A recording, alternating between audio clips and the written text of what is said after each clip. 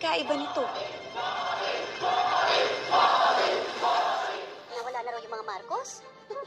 Sino itong mga kasama natin dito? Aparisyon? Bongbong! Dad! Bakit ganyan pa rin ang damit mo? Ano gusto mong palabasin? Dad, pinasabugan na po nila tayo. My order is this. No, no, no, no. So, ang gusto mo, pasabugan din natin sila. Hugat ng mga ahas! Nilingkis na nila tayo! Maghihintay na lang sila ng kung kailan yung tamang oras para lagutin yung hininga natin! Anong alam mo sa pagkapanalo? Anong alam